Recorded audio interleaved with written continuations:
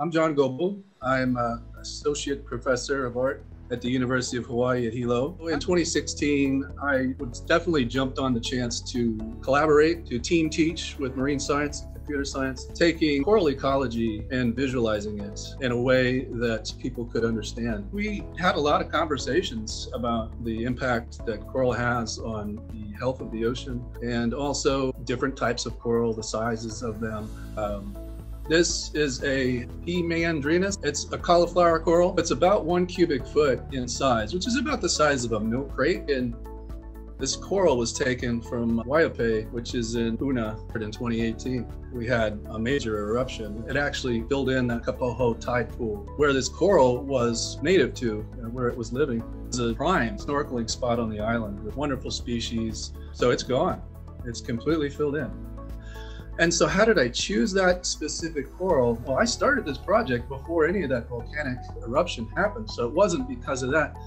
It was because I thought it was one of the coolest looking corals. It just visually had the most interesting features, the most branches on it, and the spacing and the lobes, the way they undulate. They had the most potential to be enlarged in a way that I think would be interactive. That's one of the cool things that John is doing is he's preserving these specimens in a format where you can see them in virtual reality or you can just use a 3D viewer and kind of rotate, see what the corals looked like. So I started with this idea of enlarging it to larger than life, bigger than me.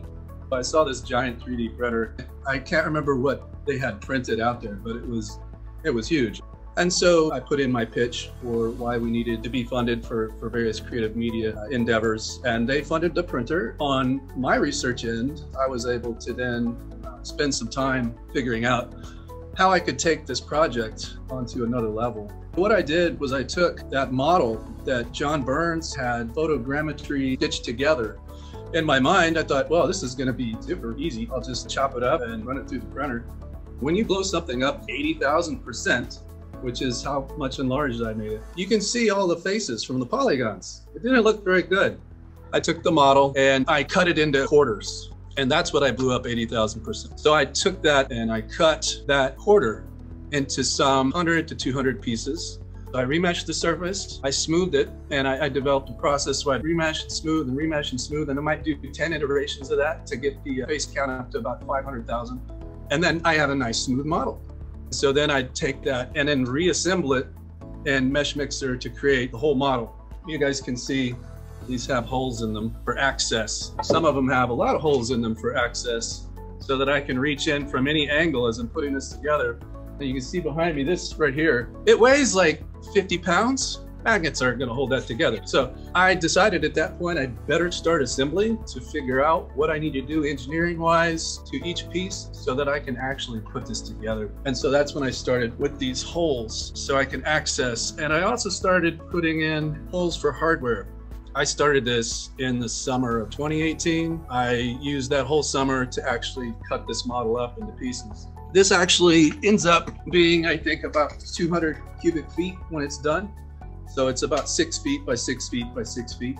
I estimated about 6,000 hours so far on the printer. So the first one I printed was, you know, relatively large. I could print something this size with maybe half a spool. So I learned you know, using Meshmixer, how to hollow a model out, how thick it needed to be to actually be strong enough, light enough, what the infill should be on the hollow. And ever since I started creating these access holes, the printer has no problem at all printing without a support, this kind of shape, as long as this is vertical. Obviously, what it can't do is print this sort of shape on top. So I figure out, okay, I'll just print it like this. And it prints beautifully from bottom to top this way. And with these holes, there's no filament in there, right? So I'm using a lot less filament these days. I could probably print about four or five of these with one spool.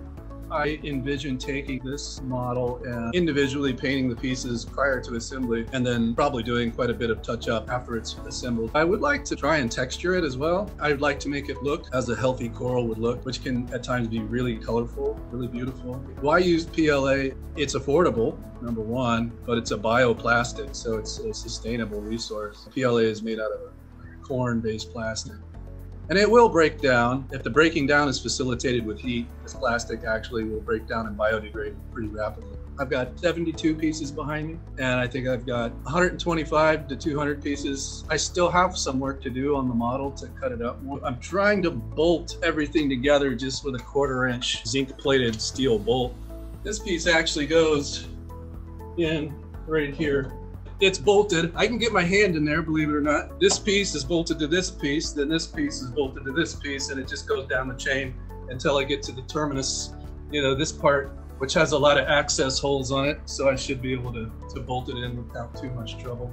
A majority of this, no, no uh, support structures at all. I called it larger than life because it is larger than life, but it puts you as a human being in the perspective of a coral polyp or even a fish in terms of a relationship of the scale. And so I find that quite intriguing because then you see it in a way that you never would see it to put yourself in a position where you're part of the marine life scale wise, I think raises some interesting questions and would spark the curiosity of young minds, old minds, and everything in between about what coral is and what is the impact that it has on the ecosystem and the oceans and how that ocean ecosystem then affects our terrestrial life. I did want to use this as a prototype for a much larger version. And I envisioned some works in public where this is made out of a material that kids could climb on it and stuff like that. I think the library is a good place to have this where people can interact with it and get good visibility for it. We do actually hang quite a few exhibitions in the library, so we get a lot of foot traffic in there. Even now, with uh, the pandemic, the library has remained open. I'm excited about setting up over there and getting this in front of more eyes and talking to people about it. I learned so much from doing this that now I, I can visualize how I could make it even bigger. That was my ultimate goal is like, how big can I make something on this 3D printer that has a two cubic foot build volume?